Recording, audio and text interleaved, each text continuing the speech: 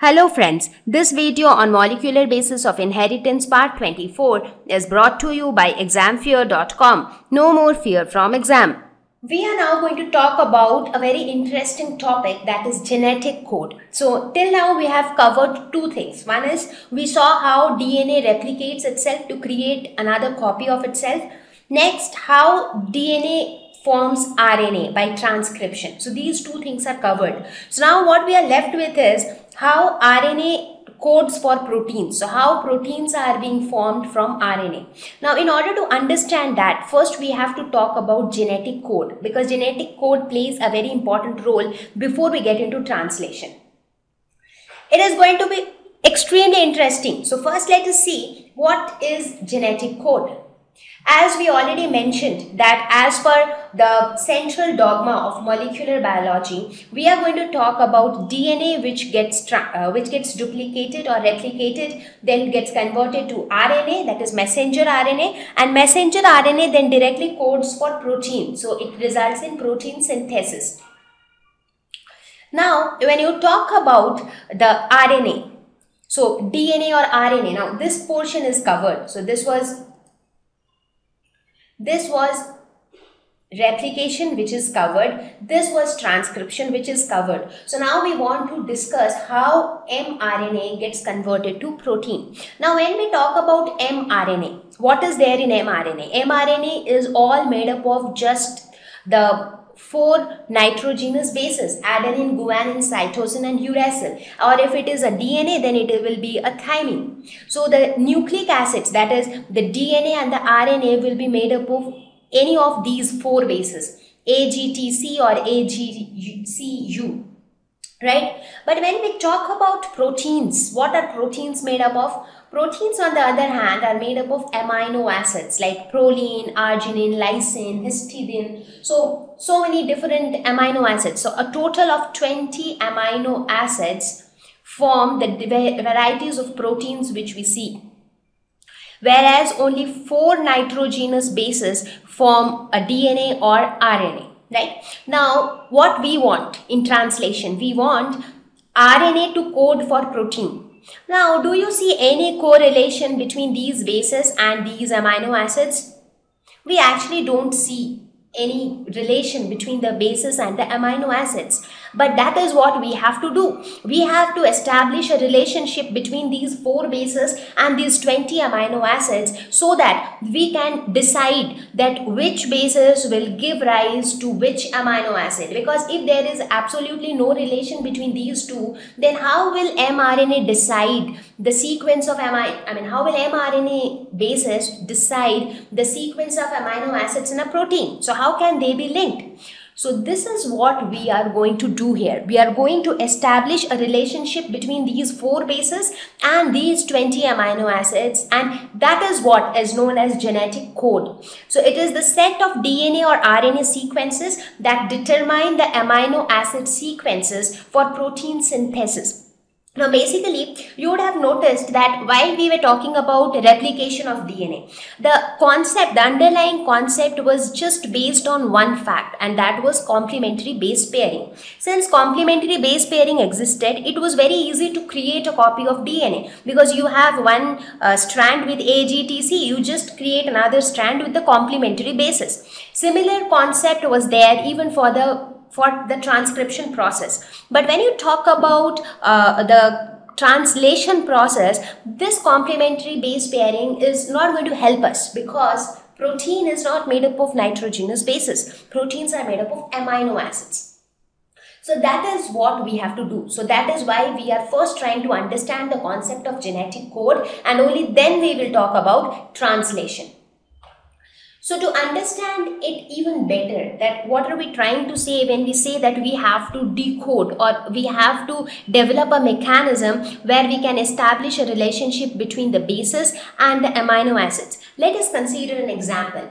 Let us suppose on one hand you have all the numbers and how many numbers do you have? In fact, I am talking about the digits. I'm not talking about numbers. So you just have 0 to 9. So these are the 10 digits which you have. If you talk about the alphabets, how many alphabets do we have? We have 26 alphabets, right? So let us suppose if somebody's name is uh, say say I take any name. Suppose if somebody's name is is John. So if John is somebody's name and if I ask you to write this name in terms of numbers, will you be able to write it? So if I say write down John in the form of digits right? Like write john in a form format where you use numbers rather than alphabets. You're not supposed to use alphabets but you have to write john in in the form of numbers where you write it like this 3 2 1 6 1 2 3 4 or something like that. So will you be able to do this you will be able to do this only when you have a system which tells you that okay if this is the letter this is the alphabet then the corresponding uh, number would be this. Now, if you now other if any kind of system like that is not existing, in that case you will not be able to write John in terms of numbers. That is not possible because you do not know what is J in terms of a number, whether one represents J or two represents J or three represents J. You do not know.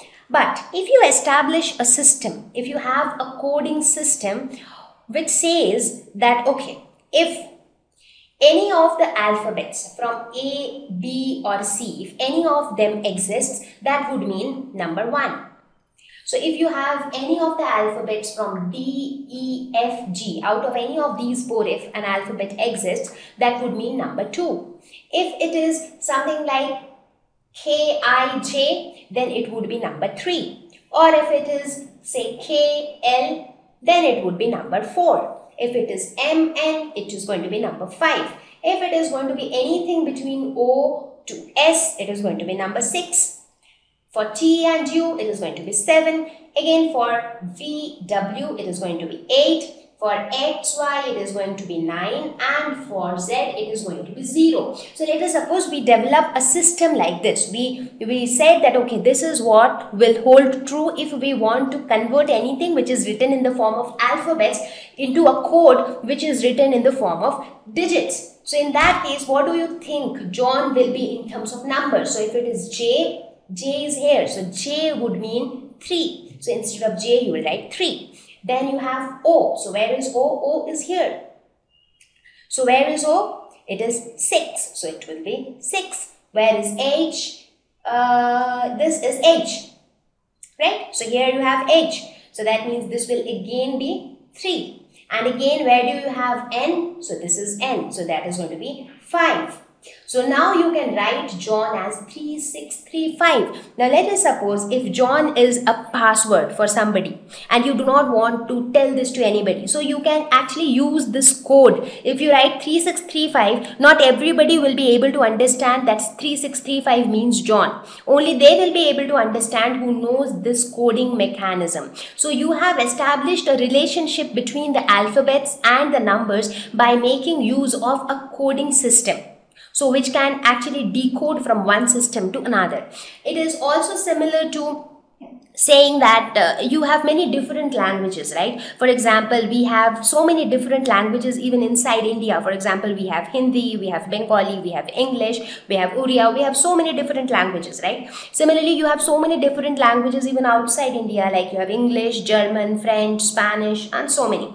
Now if you want to translate a sentence from one language to other language you need to have a system. You you need to know what is for example what is physics called in german in french or in english or in hindi or in bengali. So you need to know what is it known as in all other languages. Only then you will be able to con- i mean converted in that language.